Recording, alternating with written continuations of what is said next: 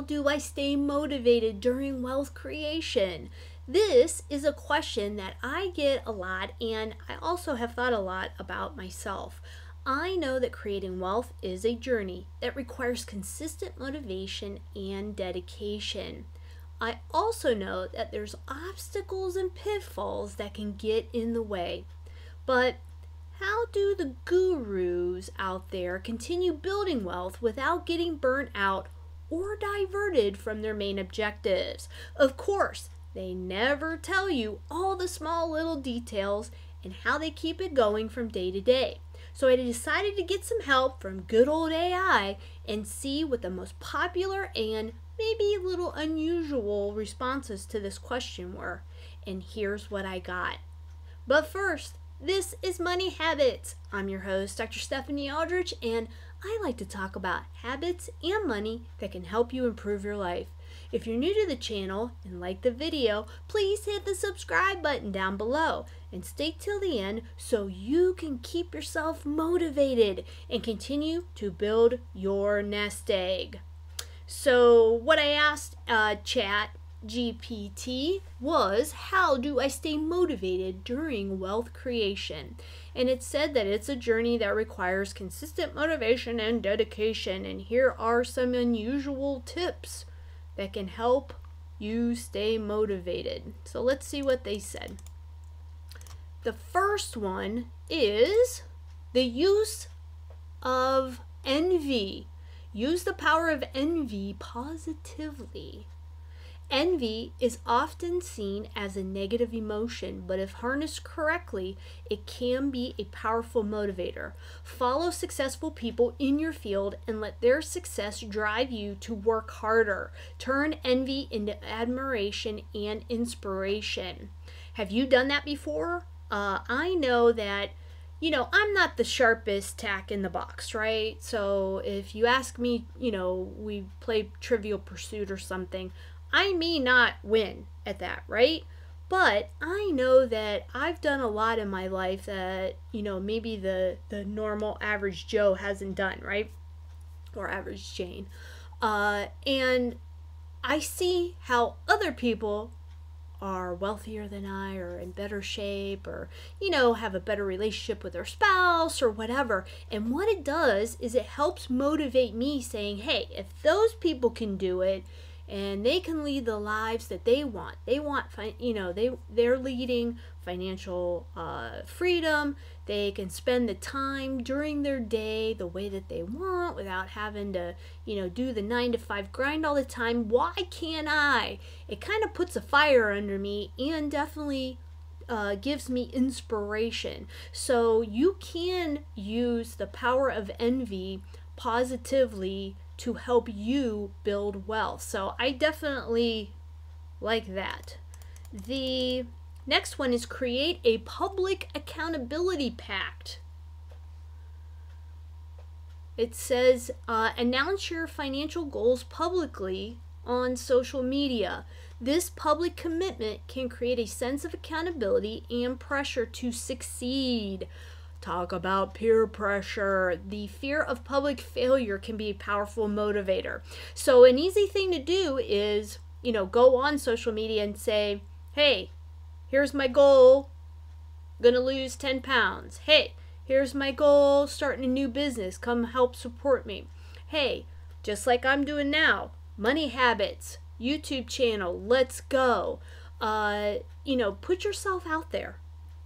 It helps you to learn faster, to fail faster, and to actually do what you're saying that you want to do.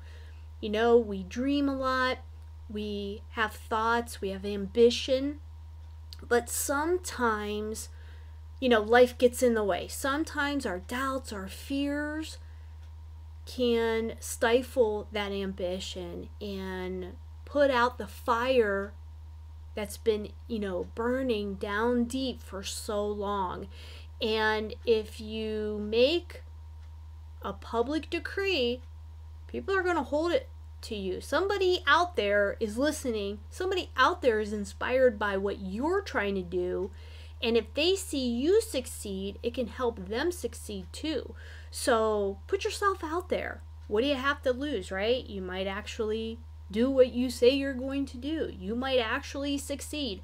You might actually get wealthy. So put yourself out there. Get an accountability partner.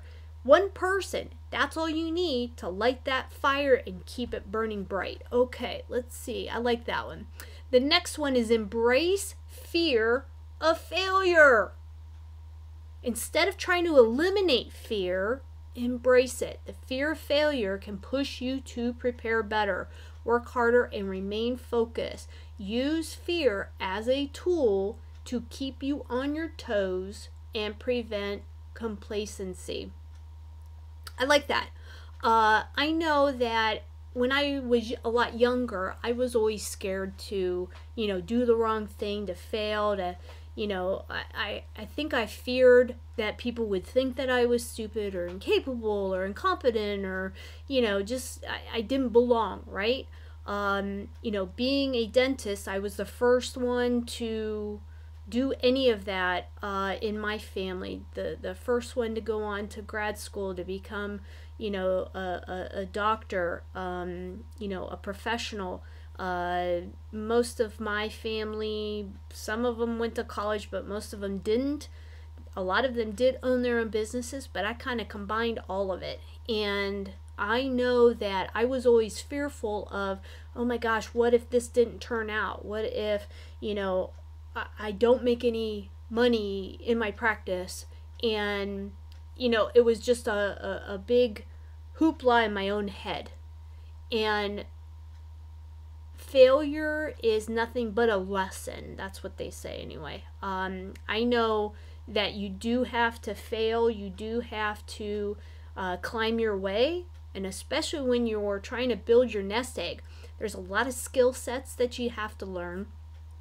You need to have financial education, you need to learn where you're going to invest your money, and then you need to know how to actually do it. Are you going the real estate route? Are you doing a business? Are you investing in, you know, stocks and bonds, dividend paying stocks, private equity and credit? Are you doing gold and silver? Are you doing, you know, what exactly are you doing?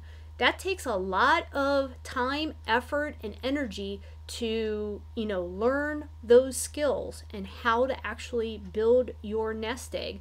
And yes, you will lose money. Yes, you will think that, you know, a business idea is going to work out and then it doesn't. So don't be fearful of learning new things, of trying things, because in the end, you are going to be so much more better um, than what you were in the beginning. And don't let fear stop you from trying new things. So I like that. Embrace fear of failure. The next one is visualize worst case scenarios. Regularly spend time imagining the worst case scenario if you fail to achieve your financial goal. This can create a sense of urgency and drive you to take action to avoid these negative outcomes.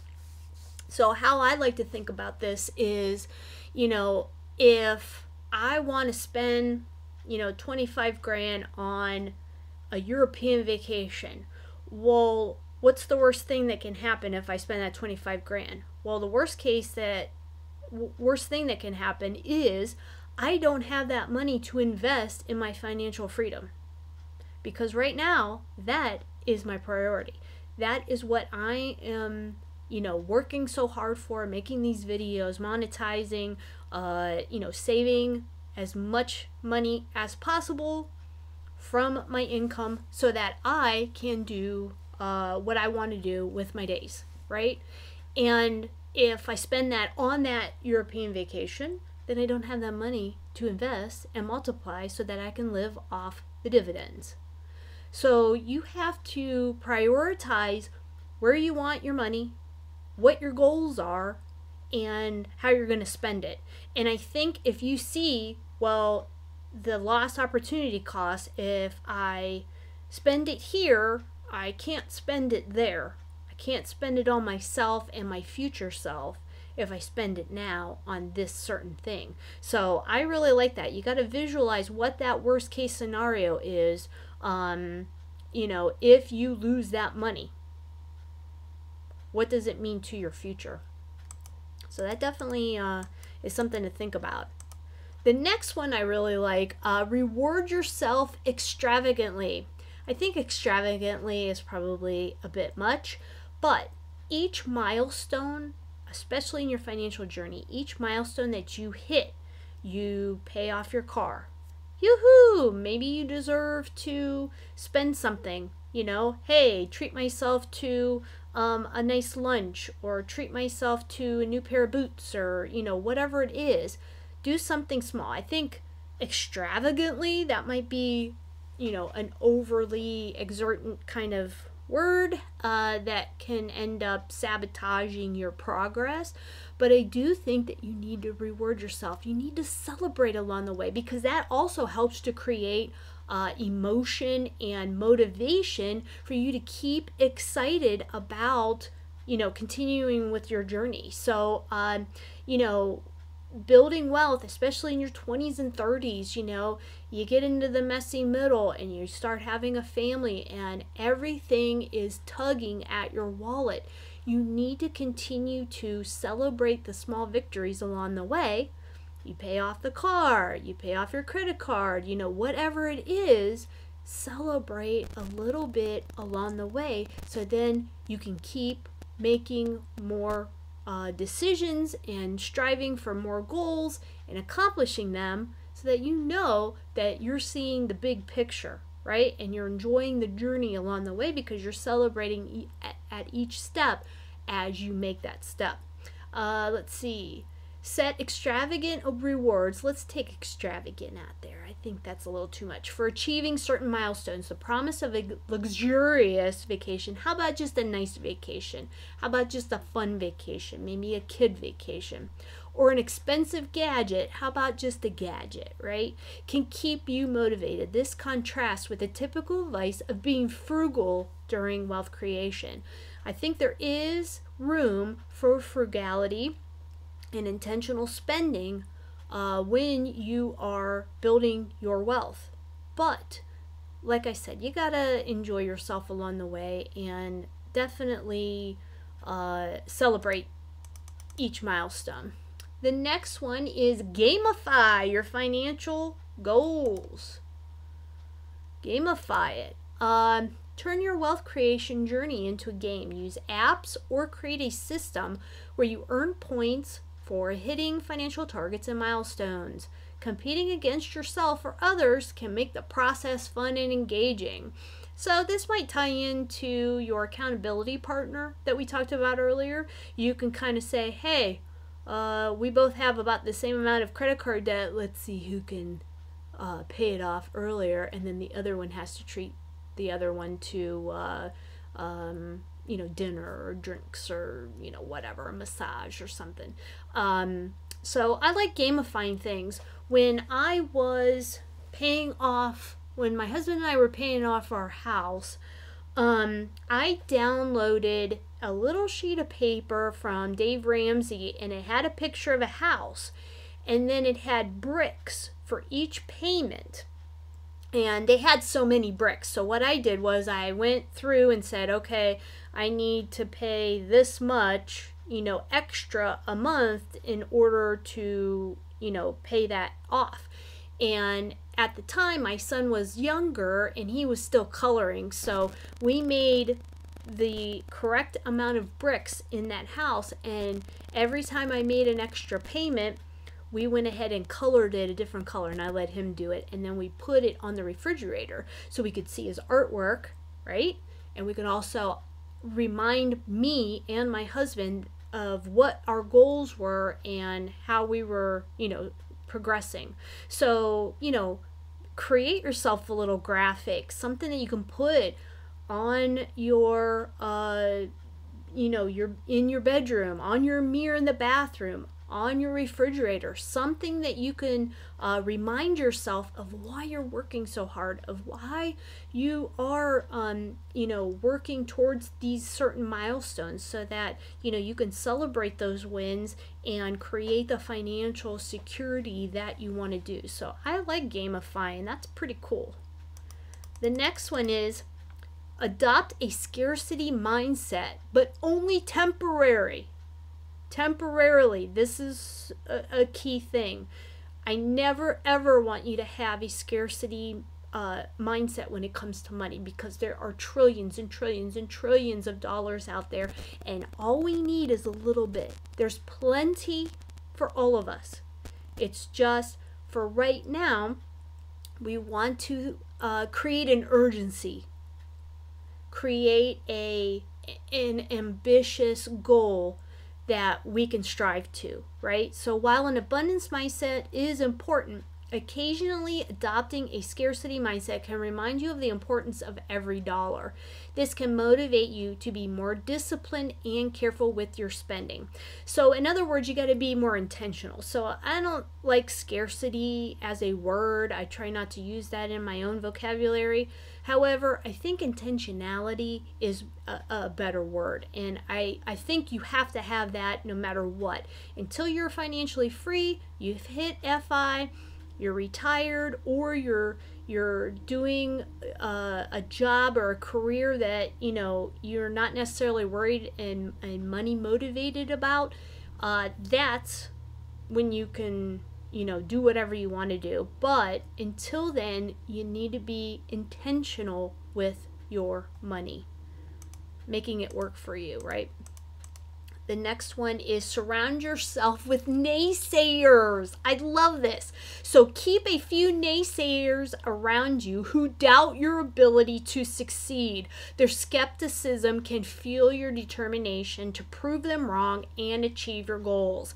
So I have a couple of these in my life, and uh, I don't really let it sink in.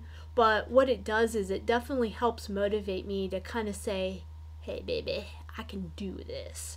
I can show you up. I am going to retire in, you know, five years. I am going to do this. I am going to hit these goals. Uh, oh, you've never written anything. Uh, I'm on my 10th book now, which stay tuned because it's coming for you guys to, it's all about you guys on this channel. Um, but yeah, I'm an author. Uh, I do YouTube videos. I do all kinds of things that most people don't do or aren't willing to try. And um, it definitely gives me fuel and motivation. And even for my money goals. Uh, I, I hit 51 this year. I know. I mean, it's it's flying by, and that definitely motivates me to, um, you know, look around at my peers and say, you know what, uh, these guys are bitching and complaining and moaning and groaning about the nine to five you know, grind and they don't have any money, they haven't saved enough. Generation X is, is toast because we haven't been putting away enough money. And I say to myself, too bad, naysayers, because I am going to hit my financial goals and be financially free very, very soon, and sooner than most people in my generation. So let's see, the next one is, uh, oh, I went up too far, sorry practical uh, practice radical transparency. Share your financial journey, including your failures and setbacks, with a trusted group. Radical transparency can create a support network that keeps you accountable and motivated. So, again, that's accountability. If you declare it on social media, you got to keep following up, good or bad, right? Because people will connect with you uh, if you're being transparent. If you're sharing your your your fears your um, milestones you know your celebrations uh, they're going to celebrate with you and they're also going to help motivate you if you fail or fall off that you can do it. So you can gain strength and some wisdom along the way if you're transparent with people just be real right i try to be real on this channel telling you of my failures. If you want to know, um, you know, my financial journey, um, I'll put the link to my financial journey video uh, and tell you all the mistakes that I made and what I did to correct them. I'll put that in the link uh, in the description, so check that out. But um, the more transparent you are, the more they're going to relate to you, right? So, you know, be honest about stuff. We're all here to help each other and learn from what other people do. The next one is visualize a legacy of wealth. Imagine the legacy you want to leave behind, visualizing how your wealth can impact future generations and your community can be a powerful motivator to keep pushing forward. So, do you want to leave your kids anything? Knowledge, wealth, anything like that? Do you want to help them with college? I know my parents helped me a little bit with college, but most of it was me on my dime. And I know that I want to be able to help provide a college education for my son so that when he gets out and starts his new life, starts his new career, that he's not bombarded with student loan debt. I mean, that is the worst feeling is you're just starting in life and you've just got all that debt weighing on your shoulders. And I definitely don't want to do that. I know also that you know, once I pass and move on to whatever the next journey is, that I will have his family um, and him set that they will have a little bit of a nest egg that will help secure their future when I'm not around. So, what about you? Do you, do you want to help your kids go to college? Maybe help them, you know, buy their first house or house hack or, you know, investment, whatever. Um, you know, visualizing uh, a legacy definitely is something that motivates me to try to do better, to try to put more money away, to try to build and grow my wealth so that when I'm done using it, you know, you can't take it with you, that, you know, I can leave something for my family. It says by incorporating these controversial and unusual tips, your video can stand out and attract a wider audience potentially making it go viral. So, um, you know, I want to make videos that I know are, you know, popular subjects so that uh, when you're looking up something, that you're going to actually learn what you need to learn because YouTube is all about how to. So, how to get wealthy, how to stay wealthy, create the legacy, and in this video, how to keep motivated. So I hope it helped you. Um, and uh, I hope that you did learn something. So that's it for the show today. Um, what lessons have you uh, decided to incorporate to help motivate you for continuing your wealth journey? I'd like to know. Try, try to leave me a comment uh, down below. And uh, until next video, until next time, this is Money Habits.